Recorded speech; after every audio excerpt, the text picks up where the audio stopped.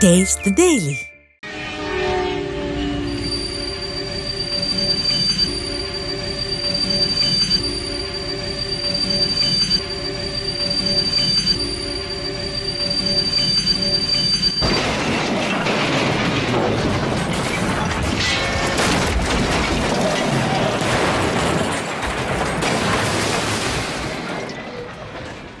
மேற்கு வங்கத்தில் டார்ஜிலிங் மாவட்டத்தில் உள்ள நியூ ஜல்பைகுரி பகுதியில் நின்று கொண்டிருந்த கஞ்சன்ஜங்கா பயணிகள் விரைவு ரயில் மீது காலை எட்டு முப்பது மணியளவில் சரக்கு ரயில் மோதி விபத்துக்குள்ளானது.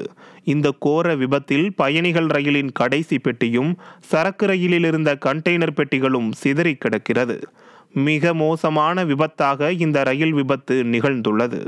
இந்த விபத்தில் சரக்கு ரயில் ஓட்டுநர் உட்பட பதினைந்து பேர் பரிதாபமாக உடல் நசுங்கி உயிரிழந்த நிலையில் அறுபதுக்கும் மேற்பட்டோர் படுகாயங்களுடன் மீட்கப்பட்டுள்ளதாக முதற்கட்ட தகவல் வெளியாகியுள்ளது. மேலும் பயணிகள் ரயிலில் மூன்று முதல் ஐந்து பெட்டிகள் வரை சேதமடைந்துள்ளதால் உயிரிழந்தோரின் எண்ணிக்கை அதிகரிக்கக்கூடும் என அஞ்சப்படுகிறது. ரயில் விபத்து நடைபெற்ற பகுதியில் தேசிய பேரிடர் மற்றும் மாநில மீட்புக் குழுவினர் மீட்பு பணிகளில் ஈடுபட்டுள்ளனர். ராணுவ மருத்துவர்கள் சம்பவ இடத்திற்கு சென்று சிகிச்சை அளித்து வருகின்றனர். இதனிடையே விபத்து குறித்து தகவலறிய தொலைபேசி உதவி எண்களை ரயில்வே நிர்வாகம் அறிவித்துள்ளது.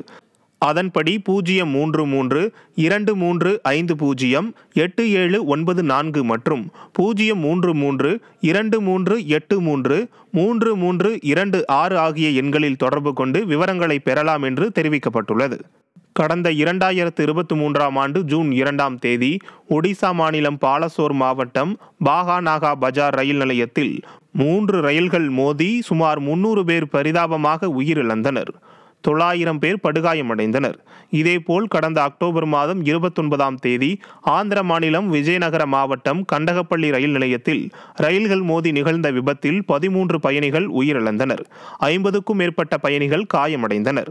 உத்தரப்பிரதேச மாநிலம் லக்னோவிலிருந்து ஆன்மீக பயணமாக அறுபதுக்கும் மேற்பட்டோர் ரயில் பெட்டியை வாடகைக்கு எடுத்து பயணம் செய்தனர். இரண்டாயிரத்து இருபத்தி மூன்று ஆகஸ்ட் பதினேழாம் தேதி இவர்கள் பயணித்த ரயில் மதுரை ரயில்வே சந்திப்பிலிருந்து ஒரு கிலோமீட்டர் தூரத்தில் நிறுத்தி வைக்கப்பட்டிருந்த ரயில் பெட்டியில் திடீரென தீ பிடித்தது. இந்த விபத்தில் ஒன்பது பயணிகள் உயிரிழந்தனர். ரயில் பெட்டிக்கு உள்ளேயே கேஸ் சிலிண்டர் வைத்து சமைத்ததே விபத்துக்கு காரணம் என விசாரணையில் கண்டறியப்பட்டது.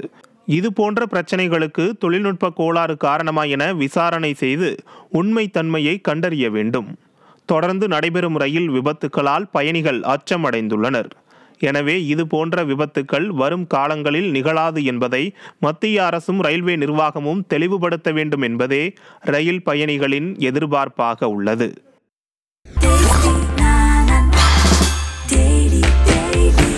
Taste the Daily. Taste the Daily.